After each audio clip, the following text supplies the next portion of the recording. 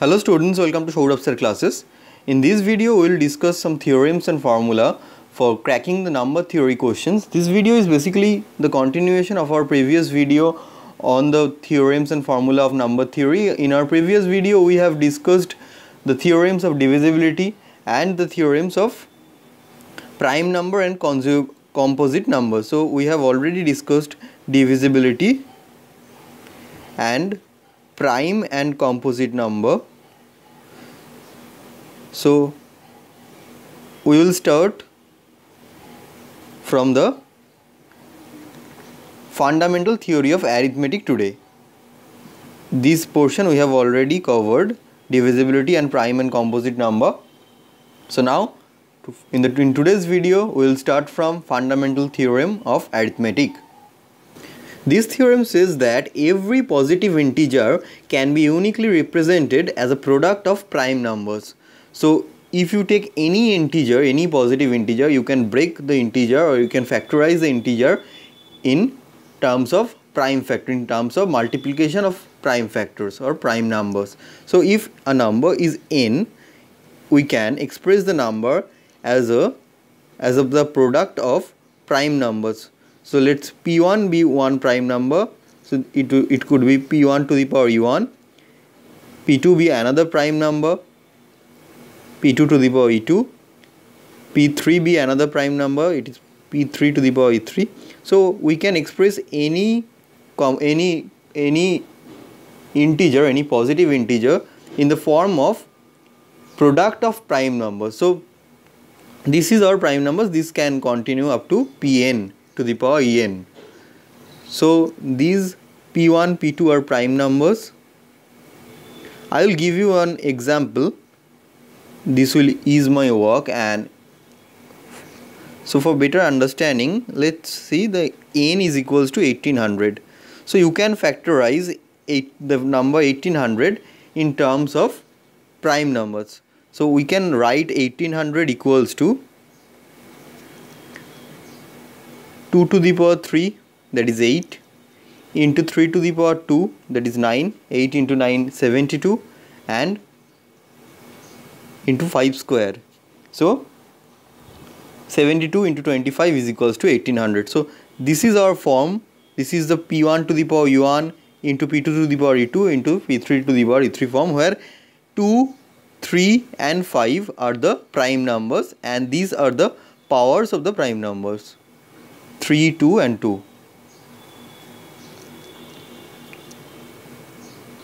Now coming to the next, next set of formula how to find total number of factors or total number of divisor of any number. So the, our formula of prime factorization of any number was p1 to the power n equals to p1 to the power e1, p2 to the power e2, p3 to the power e3 dot dot. So the total number of factors will be total number of factors of n will be e1 plus 1 that is power of the first prime number plus 1 into power of the second prime number plus 1 into power of the third prime number plus 1 into dot dot. Same in the same way it will be power of the fourth prime number plus 1 power of the fifth prime number plus 1 and in this way we can find the number of factors of 1800 as well what the example we have taken before earlier.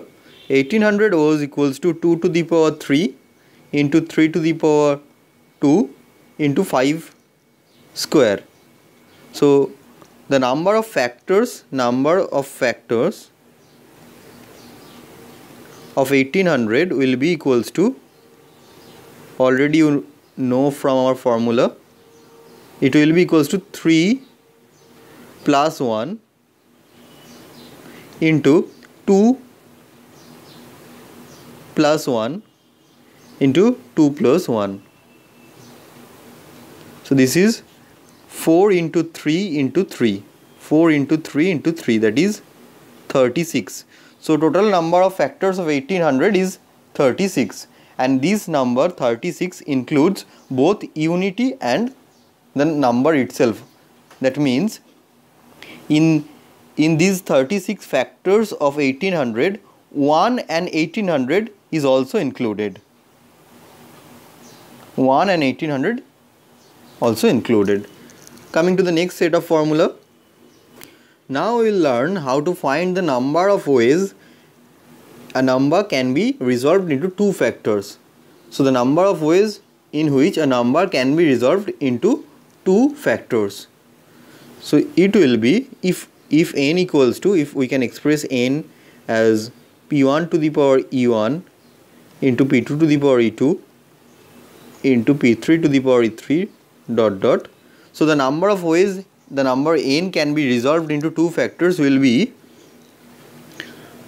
equals to half of e1 plus 1 into e2 plus 1 into e3 plus 1 into dot dot so this is our formula half into E1 plus 1 into E2 plus 1 into E3 plus 1 plus dot dot. This is just similar with our previous formula of number of factors but this is half of the number of factors. So the number of ways any number can be resolved into two factors is half of its number of factors actually.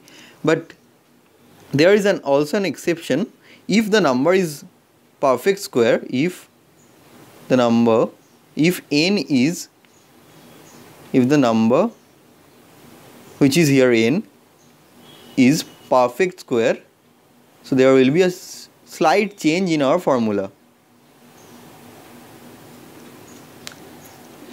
Then it will become half into e1 plus 1 into e2 plus 1 into e3 plus 1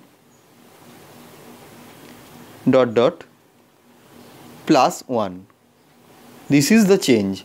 So the product of e1 plus 1 e2 plus 1 e3 plus 1 will will be added with 1 so this is the formula for finding the number of ways a perfect square can be resolved into two factors this is our two formula. This is the exceptional formula only made for perfect square. And this is the generalized formula for all the numbers. In our previous set of formula we have learned how to find the number of ways a number can be resolved into two factors.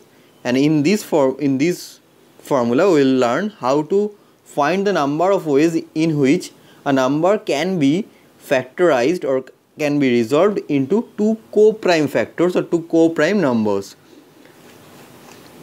Co-prime number mean means the numbers two numbers which are prime to each other. So the number of ways in which a number n can be resolved into two co-prime factors will be equals to 2 to the power n minus 1 this is the formula 2 to the power n minus 1 here n is equals to number of unique prime numbers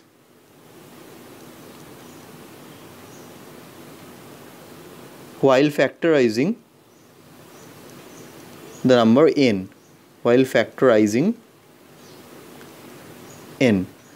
So as of our example of 1800 1800 was equals to 2 cube into 3 square into 5 square.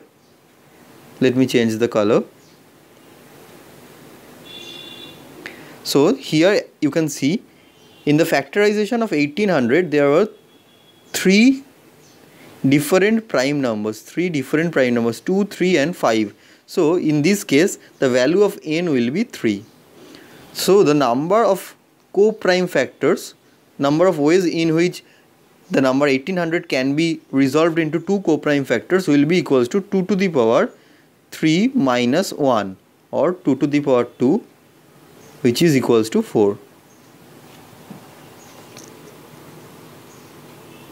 Now the last set of formula for this video how to find the sum of all the factors of a number. So in our previous set of formulas we have learned how to find the number of factors and also we have found that how to find the number of number of ways in which a number can be factorized and also we have found that how to get the number of ways in which a number can be factorized in two co-prime numbers and now we will learn how to get the sum of all the factors of n or all the factors of any number. So again our n or any number we can express it in the form of unique prime numbers that is p1 to the power e1, p2 to the power e2, p3 to the power e3. This was our expression of n and dot dot. So from this expression we will get the sum of all the factors of n as well. So the sum of all the factors will be equals to p1 to the power e1 plus 1 divided by P1 minus 1. Similarly into P2 to the power E2 plus 1 sorry they are here minus 1 E2 plus 1 minus 1 divided by P2 minus 1. Similarly P3 to the power E3 plus 1 minus 1 divided by P3 minus 1 and dot dot so on. Let me change the color.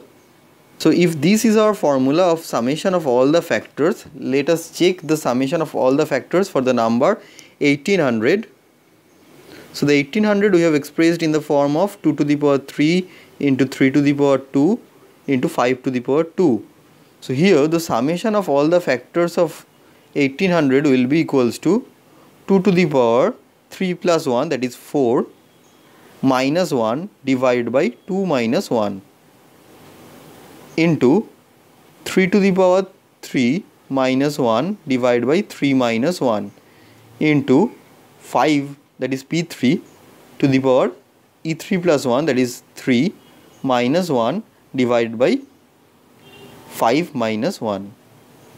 So this will be equals to 16 minus 1 that is 15 divided by 1 into 27 minus 1 divided by 2 that is 26 divided by 2 that is equals to 13 and into 125 minus 1 that is equals to 124 divided by 4 124 divided by 4 that is equals to 31 which is equals to 6045 so in this way we can find the sum of all the factors of any number. Thank you. This was all for today's video. If you have any doubt or any queries you can feel free to call us in this number 9836793076 or you can send us email also at souravsir classes at the rate gmail.com thank you